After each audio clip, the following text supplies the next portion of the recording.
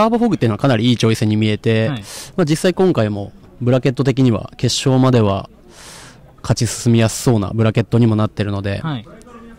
はい。今まで結構公開されてきたラブニカの研修の新しいカードも、そうですねターボフォグを強化するようなカードがはいかなり、えー見られたので、今後も期待できるようなデッキなのかなと。そうですね。まあちょっと僕が放送で使ってる感じ、あんまり人気はないですけど、なるほど、なるほど。非難合々でしたから、人気投票すると本当にいつも最下位でした。いな確かに。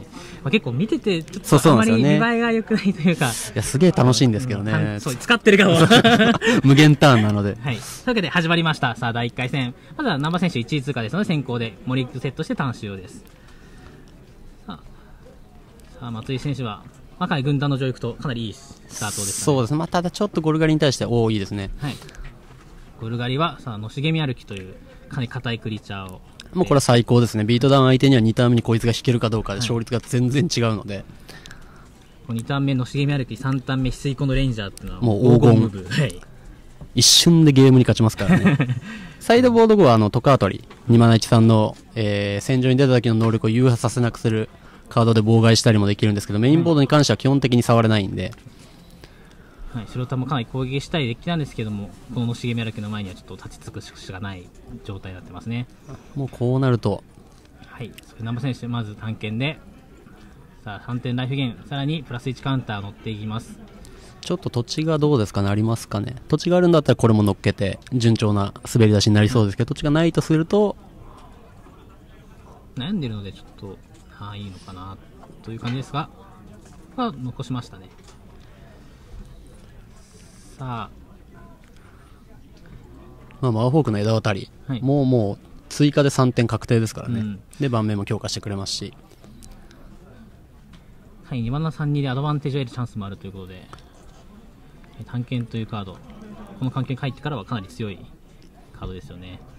まあ、やっぱり電気も安定しますしね。うんのしげみ歩きがまさかここまで使われるとは正直思ってなかったですけど、そうねはい。さあ、松井選手、この2体の探検のシナジーを組んだデッキカードに対して、かなり攻めあぐねているように見えますが、さあ、ここでベナニアリの軍師へ、ちょ現はい。と土地が多いですね。手札はもう松井選手全部土地じゃないかっていうぐらいい。さあ、ここで、えーさらに追加の探検クリーチャー、さらにプラス1カウンターが乗って、ライフは26。やはり、まあ、南波選手は結構ゆっくり構えたいうん、そうですね。もうここまで見てる感じ、明らかに松井選手2ターン目の動きもなかったんで、はいもうちょっと手札に土地が多いなり何かしら手札が重すぎるとか、ロクソドンばっかり来てるとか、はいそういったことは予想できると思うんで、で、手札に翡翠湖のレンジャーもう1枚見えたんで、まあ土地さえ、3枚目の土地さえ引ければもう、うん。ほぼ盤石なので、今は守りを固めて、のしげみ歩きが間違っても死んでしまわないようにな。るほど。ま白タンの攻撃を通さないような、まあ、そうですね損しないような形で。さあ、ここで2枚目の軍団の上陸でトークンを増やします。ただ、このではまだ攻められない状態。この茂み歩きがちょっと、今3号という。そうですね、南波選手ははい本当にあと土地1枚といった状態なんですけど、なかなか引けないですね。さあ、今のところ有利は南波選手。うんそうですねですが、土地が引けないと、まあ、どんどん苦しくなっていく展開かなと。まあ、マジック基本的にマナフラット対マナスクリューって、もうマナフラットしてる側がはい、この間に押し切れないと大体負けるんですね。やっぱ手札がもう5枚、6枚スペルがない、相手に対してこっちらのスペルがない状態なんで。で、対戦相手は土地を引くだけでそれを全部使えるようになるのに対して、マナフラットしてる側はずっとスペルを引き込まなきゃいけない。そしてそれが強くないといけないんで、だからこの状態でちょっとダメージが通せてないっていうのはもう松井選手にとってはかなり苦しい状態ですね。さあ、ここで、まあ、かなりここでもなかなか動き出さないので、手札はかなり良くない。少なくとも1枚以外、今引いたカード以外は全部土地ですうね。ん。さあ、松井選手。南波選手が3枚目の土地を引くまでに何か動きたいところですが。これ3体殴ることってあるんですか？いやー、厳しいと思いますね。はいまあ、3体殴って得られる結果が軍団の上陸が変身して、ベナリア氏が死ぬんで、ベナリアの軍司令はいが死んでしまうんで、ベナリアの軍司令の方が価値が高そうに見えますけどね。はい。そこが耐えの、まあ、ただ待っているからといはいって状況が好転することもないので、うん、かなり苦しいですね。ただいまラブニカのギルド環境名人戦準々決勝の模様をお送りしております準々決勝はゴルガリを使用している南波直也選手対白タンタッチ赤の松井聡太選手ですね。さあここ3体アタックしてきました。軍団の邪力が変身します。まあさすがにここは軍団の指令ををそうですね。ナリアのベナリアの分子分子を殺せるように。僕も。まあ、南波選手この2点全然痛くないですからね。うんそうですね、ライフも今たくさんあるんで、はい。もう盤面で損しないように。さあ無理やり攻めていった形にはなりましたただ南波選手も3枚目のどっちなかなか引き込めないようですね。ようやく引いたんですけど、今タップイン、タップインでした。ああの黒のそうですね。タップインですね。まあただこれでもう懸念材料的なものはもうほとんどないので次に、次のターンは翡翠光のレンジャーも出てきて、またライフを回復しつつ、盤面が広がっていくので、松井選手。松井選手としては、えー、疑似界の、なんでしたっけ、4そうですね、を使ってなんとかのしげみをどけたいところですけどね、引けているか。引けてそうですね。はい。ここでさあ召集を使用して、えー軍団の上陸のマナーを残しつつのしげみやし、えー、のしげみ歩きを除去しました。さあ生選手3マナ揃いましたのでここから追加のクリーチャー出てきます。まずは翡翠光レンジャー1枚目は暴君まあこれはちょっと違わないので。2枚目は最最最終。うんまあ探検クリーチャー2体分なんでちょっとね、はい。欲しいカードといえば欲しいカードなんですけど、まあ、南波選手、本当に手札たくさんあるんで、で、はい。スペルだらけなんで、もう土地さえ引けばと。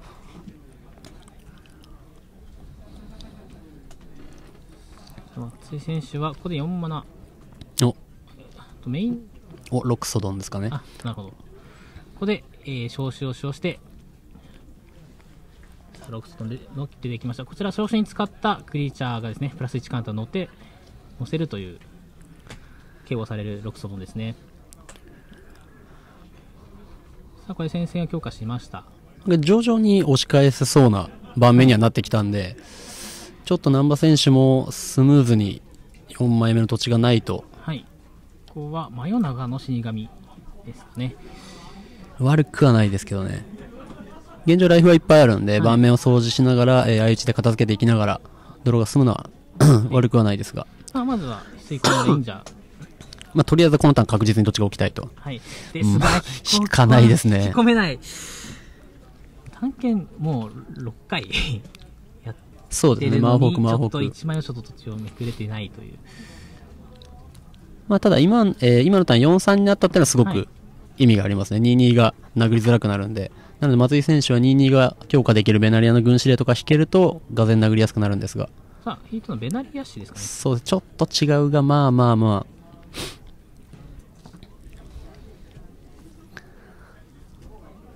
ここは1マナのクリーチャーよりは3マナ、4マナのカードが欲しいとは思うんですけれども、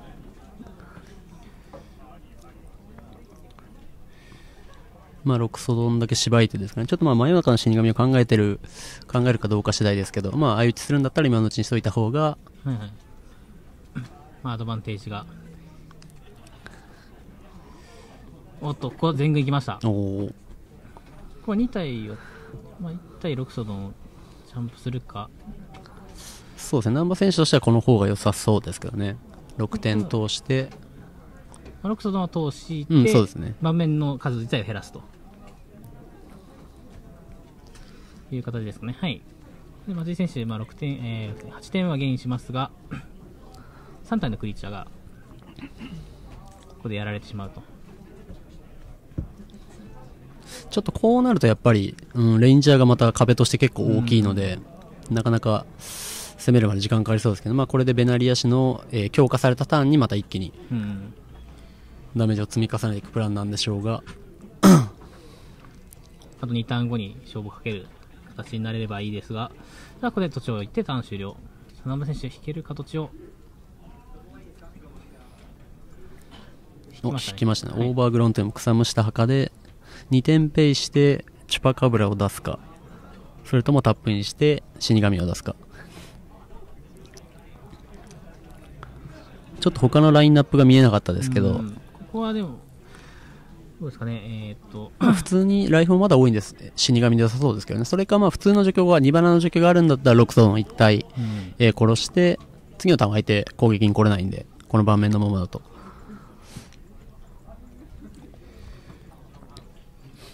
さあ、チュパカブラを選択するか、真夜中の死神か、あ、これ、ブラスカもいる感じでしたね、今見えて。まあ今は、うーん、そうですね、先にこっちで、チュパカブラを出して、ロクソドンを除去と。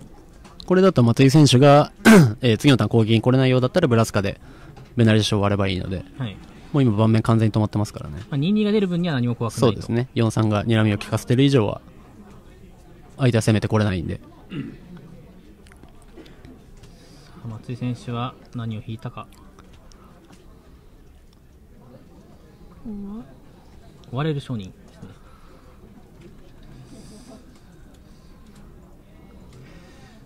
ですね。さあ、クリーチャー5枚。ナム選手、手札もうかなり何でもありそうでしたね。暴君もあるし、ブラスカの侮辱もあるし、ブラスカもあるし、はいまあ、どこから攻めようかまあ、ちょっというところですかね。とベナリアシーは壊しておきたいような、はい。ここでゴルガリの女王ブラスカで、あなるほどなるほどえートークンを減らしましたか。トークンを減らして、ベナリアッシュの、まあ、3番目の能力。そうですね、1体だけ強化するのは強化して、はいまあこれで普通に相打ちにして、さあ、ここでベナリアッシュ3番目の3種の能力が誘発して、まあ、4-3のトークンになりましたが、ただまあ相打ちになってしまうだけ、まあ、松井はい選手としてはもうブラスカを落とすかどうかですよね。もうい今強化されたトークンは絶対殴るんですけど、他のトークンまで殴ってブラスカを落とすかどうか。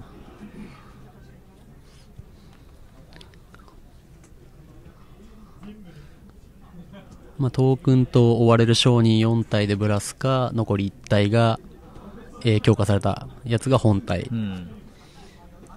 ちょっとブラスカもなかなかこの状態では放置しづらそうですけどね。なるほど。まあこのターンを過ぎてしまうとまた新しいクリーチャーがどんどん出されてしまうので、まあ、結構松井選手的には自利品な感じにはなってしまいますが、ただ1枚で軍団の上陸2枚、えー3枚目。ですね。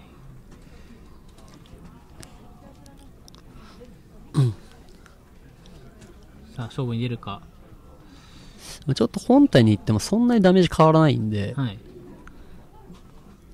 ちょっと犠牲を出してでもブラスカを落としに行く。うん、方がいいかなと思いますけどね。まあ、南波選手も土地が詰まっている以上、ちょっとパーマネント池に,、にはしづらいんですけど、はい、さあこれ軍団の上陸を裏面をですね使用して 多分ここはもう全軍アタックの構えですかね。そうですね、変身もう一回して、はい。もう一枚も使えるように。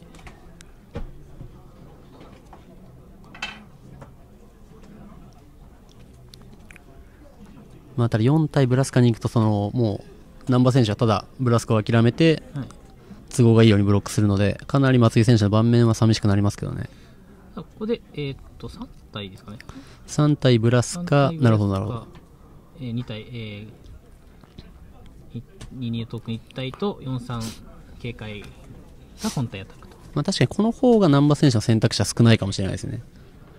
これだと、これだと3体全部ブラスカを止めて、本体に少し大きなダメージをはい、受けるか、ここは全部ブラスカ守る形になりますね。で、6点テイクして、はい。残りライフは10どうしようこれから10のライフが削れそうですかね。うーん、まあちょっと連続してトップデッキしてない限りは厳しそうですけど、まあ南波選手としては本当にそろそろ場面が落ち着いてきたんで、はい。まあここからはのんびり南波選手の時間になりますが、さあ松井選手、えー、軍団の上陸裏裏面の、えー起動するマナを残してターン終了まあとはいえちょっと殴り返すまでに多少時間はかかりそうですけど、松井選手ライフはいっぱいあるんで、はい。えー、1回採取最終とかで盤面を一掃しないと、ちょっと殴り返すのがかなり大変そうではあります。もうちょっとじっくりいかないとまだ殴り返せない状態ですね。まあその間に松井選手が盤面をしっかり固めることができれば、はい。これ3マナ真夜中の死神ここで出しました。そしてブラスカターン、えープラス1をしてライフは11でターン終了ですね。はい、あれ、生贄捧げんで多分原因しないんで、10のまま。失礼いたしました死神とブラスカのプラス1能力も相性がいいんですよね。クリーチャーを生贄に捧げて、減しつつ、死神でドローがさらにできると。なるほど。多分真夜中の死神のおかげでライフが削れてしまうということも、そうです。まあ、ただ今、今は大丈夫ですね。はいこのターンさえしのげば難波選手は、えー、ベナリアの軍司令とか、インスタントタイミングでさばけるんで、はい。さあ、ここで、ベナリアシ追加ですね。ただ、ターンを返して、さあ、生選手。まあ、いろいろ選択肢ありますね。ブラスカで、えーベナリシ自体を破壊してもいいですし、もう一旦様子を見てもいいですし、しかし、ランドが遠いですね。全くかなり4、かなり掘り進めてるはずなんですよね。そうですね。4枚目自体もすごく遠かったんですが、難波選手の手札には状況は、にまあ、送信と、ブラスカの侮辱ありますが、あと、ラノアールのエルフがありますね。これで5マナ到達と。で、プラスして、これは除去構えてエンド。そうですね。まあもう、えー、騎士トークンを殺してベナリシは、また多分次のターンブラスカでマイナスして騎士トークンを減らしていきそうですけどね。なるほど、なるほど。さあ、松井選手も、そろそろ仕掛けていきたいところではあるとは思うんですけれども、ただかなり広がってはいますからね。はい。今何体ですか、クリーチャーが。これで、えーっと123、9体123456789体結構そろそろもうはい殴り続けていけば数で押し切ることもうん見えそうですけどね難波選手今んとこ最初最終持ってなさそうだったんではい。さあ土地を引かない難波選手に対して松井選手どんどんクリーチャーを並べていってこの10のライフを削ろうと考えております。結構まあ水道ブロックしてくるかもそうなんですけど真夜中の死神がやることによってかなり計算が複雑になっているそうですね。死神が相打ちになると、はい。ちょっと今は難波選手の首を絞めるような状態になってしまうので、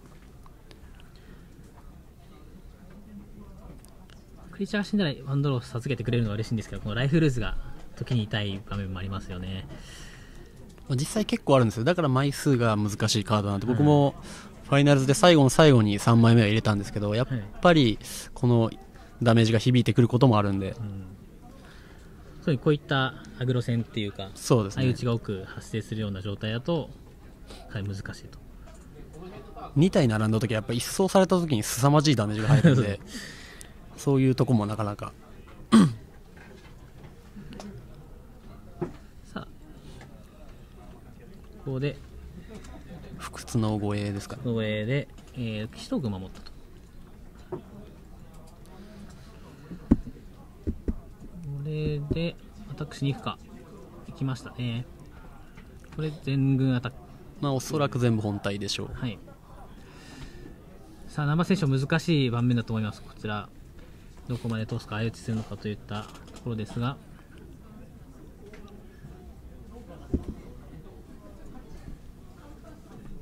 パッと見まあ、うん。えー騎士トークンを4343で止めて、はい。で1体222除去を打って残りがこれ前のが死神を殺す方向でいました確かにもうこれは明らかに死神を本当に殺したいブロックです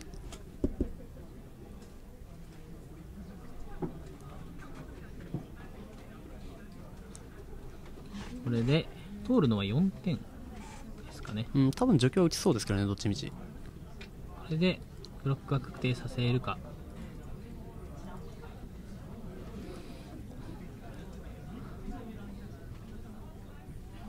というところですが、まあ、ここはまず不屈の護衛を使ってトークンを守ると。ああなるほど。これであえてこっちをブロックさせてここに除去を打つかもしれないですね。あさあこれであそのまま投資ですかね投資で4点通ったっぽいですね、はい、残りライフが6になります。そして、えーここで真夜中の死神しか死ぬことによってさらに1点。で、残りライフは5。で、ワンドロー。あ、土地を引きました。あうん、難しいですね。除去は打っても良さそうでしたけど、どうせエンドに打ちそうですけどね、タイミング的には。うーん、そうですね、これで、まあ、回復のついてないトークンの方に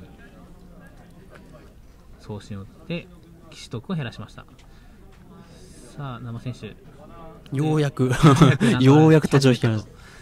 長かったですね、はい。ここまで。生選手の手札は、まあ、真夜中の死神をもう1枚。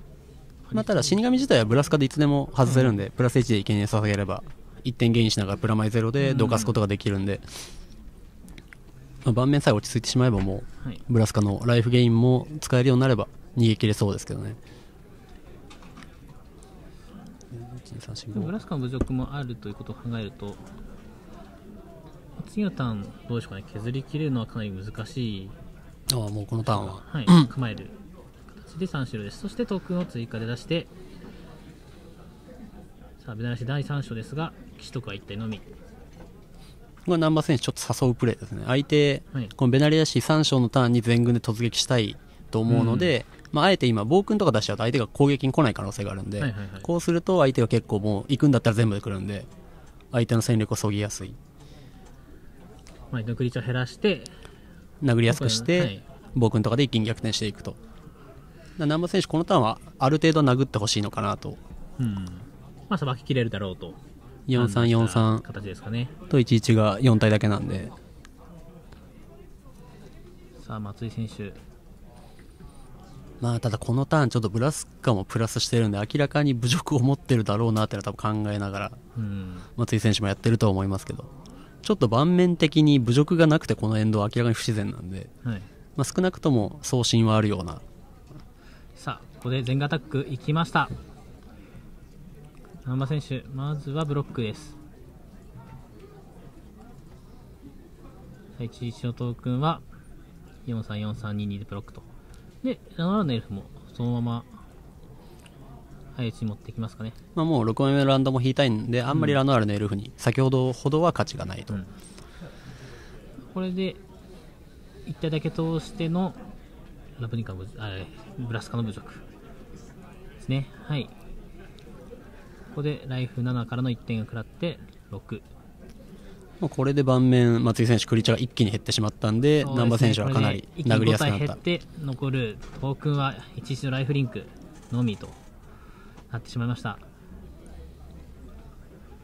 手札には21のもう1飛行ですね。昇電は達成してますね。はいただここまで来ると南波選手はもうブラスカの扇狙いでもいいですし、もうブラスカで相手の飛行クリーチャーとか重要なやつだけをしっかりさばいていって暴君で勝ってもいいですしいろんなもう手札次第でプラン変えられますね。まあ突然に死ぬことだけをケアして。そうですね。まあちゃんと相手のという感じですかねトークも減らしてるんで、はい。これ土地を一見下げてライフを得て。確かにこれが一番早いか。これで暴君を出すとはい次のターンそして、はい。さあ、あまず2マナ？で、えー、魔法の枝あたり。あもう除で去ビアンリード。これでこのターンこいつを除去ってそのあたりの野心家を除去してブラスカの扇で勝つちょうん。っと現状止められなそうですからね、はい松井選手はこれで、除去を構えつつ、まあ、この軍勢だと突破できないでしょうか。そうですね、まあブラスカをここで仮に対処できたとしても、はい。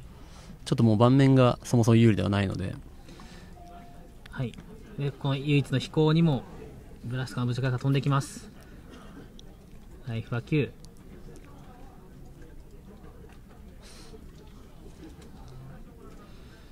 さあ、松井選手、かなり苦しいですが、諦めない。さあ、生選手、引いたのは先ほど見えた、えー、ビビアンリードですね。そのまま奥義いっちゃいますかね。うん言ってもそうですけどねビビアンリードもあるんで基本的にメインボードでもうこの状態相手全部チャンプするしかないんで、はい。まあ、1体だけはは打ちかはい。これで、1体でも取れば、勝利するという奥義の。そうライフがいくらあっても関係ない松井選手登場ですね。はい。さあ、ラブニカのギルド環境名人戦準々決勝。まず第1本、難波選手が勝利いたしました。途中はあまりに乱動を引かなすぎて。そうですね。はいどうなるか。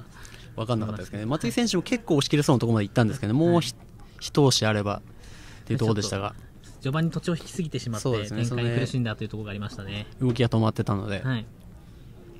さあ、ここからサイドボードになります。さあ、ゴルガリの、まあ、丸赤白アグロっていうのは結構まあ、よくあるマッチだとそうですね、思うんですけど、まあはい、黄金の死と、えーキャスト団送信の追加と、はい。のしげみの追加、うん。あとは、えーアサシンズトロフィー、まあ、この辺りのカードを入れて、とにかくトカートリーを殺さないとどうしようもないので、はい。まずはトカートリーにしっかり触れるように、そうですね、白タンのゴルガリに対するやはりキュアガードで言えばトカートリーの儀仗兵ですね、こちら、まあ出たと出たクリーチャーの、まあ、能力が誘発しなくなると。そうですね、こいつも本当にまさかここまで使われるようになるとは、うん。まあ探検というシステムがそのものがですね、まあ、この戦場に出るということをキーにしてますので、まあ、やっぱりのしげみ歩きまで無効化できるのはかなり強いですよね、うん。チュパカブラもそうですし、南波選手のメインデッキでいうと何枚ぐらい無効化されてしまうのかという。まあ、生選手もある程度減らすとは思いますけどね、ね。探検2マナ1、2とか黒のやつとかは減らしたりしそうですけど、メインボードに関しては、1、2、3、4、5、6、7、8、9、10、11、まあ、えーのしげみまで入れると14枚。はいが無力化してしまう。そうはい、コメントであるように確かにアジャニーで何回も入ってくる。そううですすね。はい、うん、4マナのアジャニーが2マナのクリーチャーをえーはい、持ちからはい場に戻してくれるんで、はい、えー松井選手もですね、えーアジャニーをですね、えーサイドから3枚採用されているので、これもやはり採用、えっ、と、入れてきますかね？どうですか？入れそう、まあ、アジアには絶対入れるんですけど、どこまで他の重いとこを入れるかが、あー白タンってやっぱりもう速度を自由に変えられるっていうのは一つの強みなんですけど、はい。他の重いカードをどれぐらい入れるかはちょっと難しいですね。うん。まあ、基本的にはアジャニーとトカトリだけ入れて終わりそうですけど、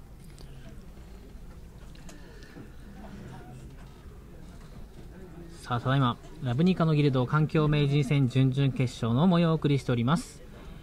さあフィーチャーテーブルは、1位通過のナンバーナヤ選手のゴルガリミッドレンジ対えー8位通過白タンタッチ赤のえー松井久隆選手のえー勝負をお送りしております。まず第1本はナンバー選手が勝利いたしました。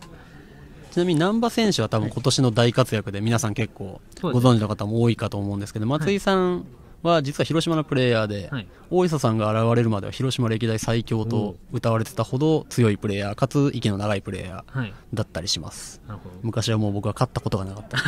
何度当たっても負けてしまう、はい当たりたくなかった。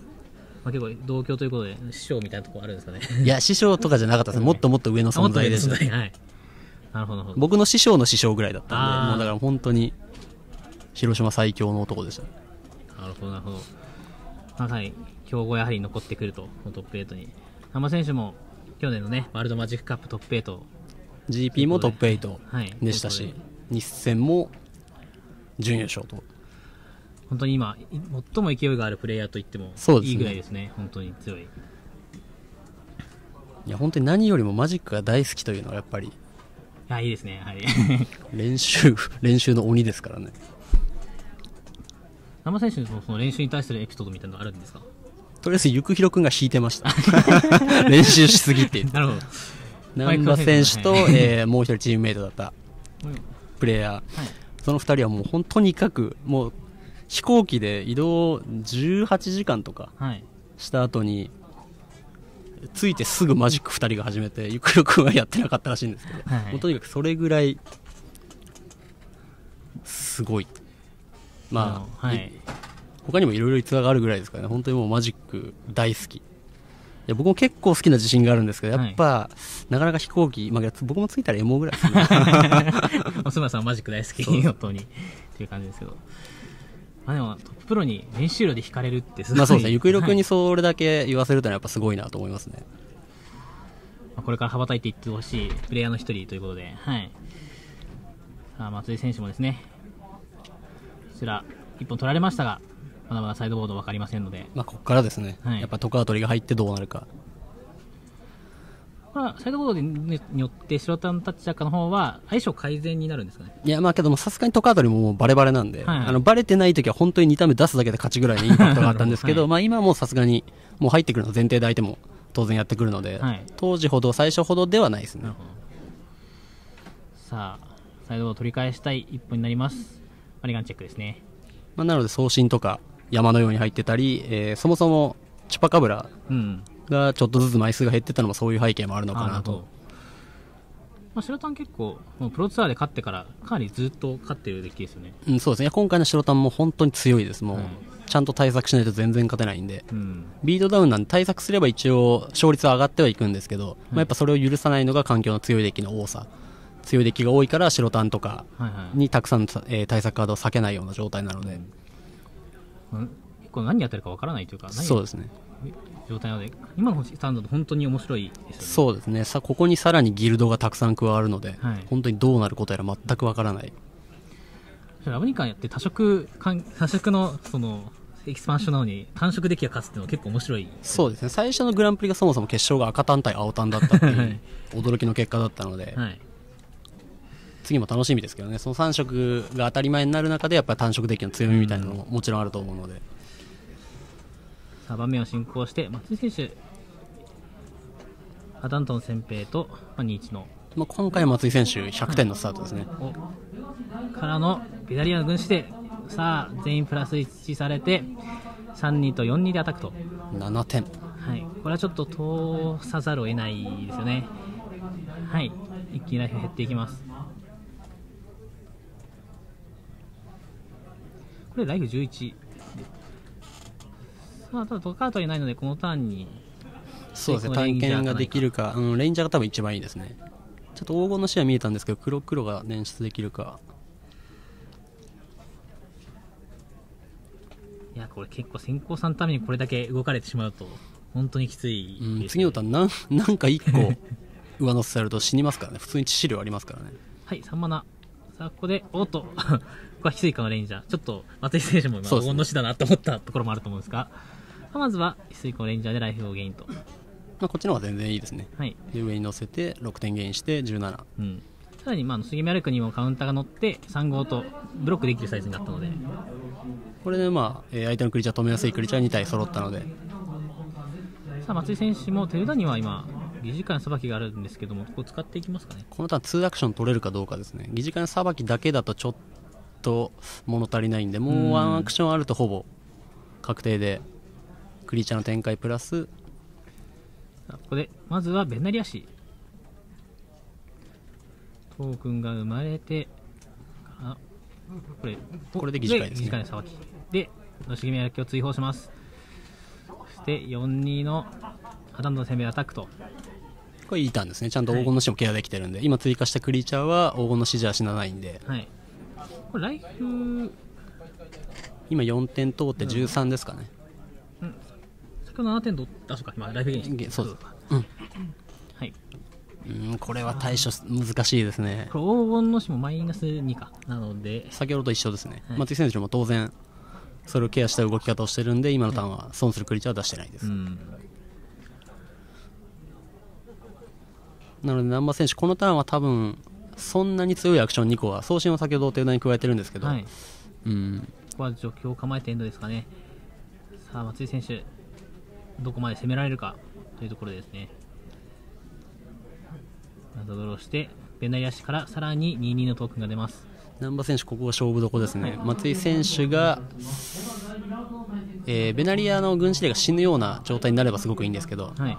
もう一枚手札にありますね。そうですね。なのでこ片方残ってしまうと黄金の死の効き目がやっぱり落ちてしまうので、はい。ここで軍師令2体とも死ぬようなことがあれば黄金の死で一気に逆転が見える。お。ということで、ですが、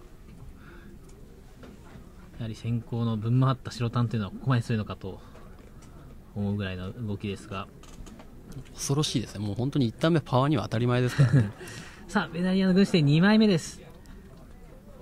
これで、さあ、4、3、4、3、4、4、5、3。さあ、まずは、えー、ブラスカの侮辱によって、まあ、1体はやられてしまいましたが、何点入るんですかね、これ。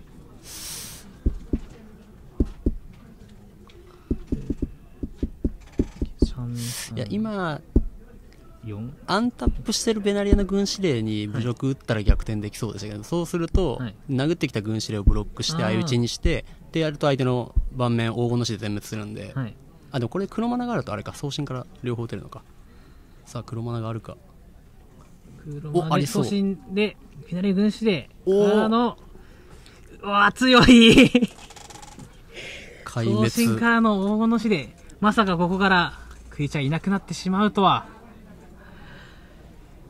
いや、かなり素人に対するゴルガリのベストムーブと言ってもいいんじゃないですか、ね。そうだ、綺麗にはい返せましたね。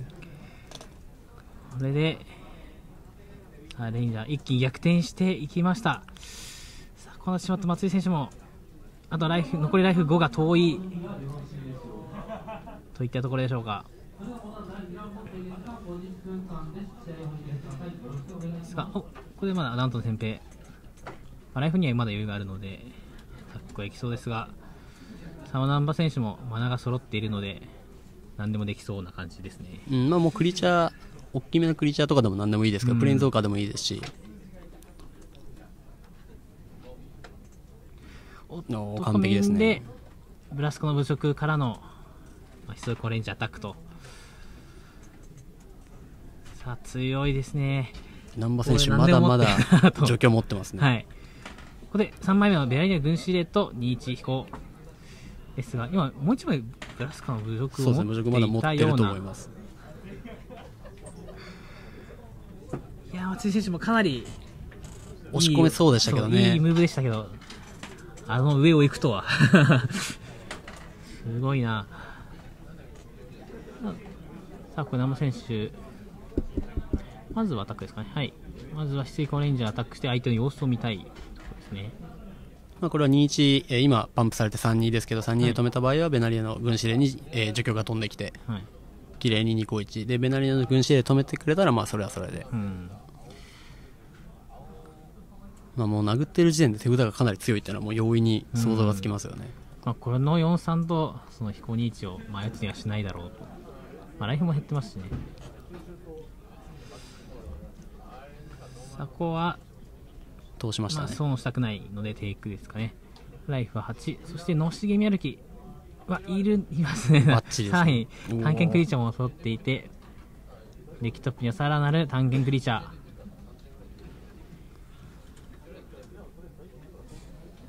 やはりゴルガリというデッキ、長い間環境に存在する理由がここにあるといったやっぱ感じでし。巻き返す力もすごいですよね。はい黄金を含めて。さあ松井選手これライフ逆転されてしまいました引き返すことができるでしょうか引いてるのは平地もう南波選手は引くのが、探検が土地でもかなり嬉しいですが、もう、ここでベナリア軍,、えー、軍資料ラスカの侮辱したところで松井選手投了です。完勝でしたね。はい。ラブリカのギルド環境メンジ戦準々決勝は南波奈也選手が勝利いたしました。おめでとうございます